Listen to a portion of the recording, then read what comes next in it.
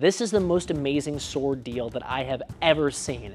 This is my custom-made longsword from X-Gurkha-Kukri, and I do mean custom. I sent in dimensions from a historical sword, and he 100% recreated it from the ground up in his forge.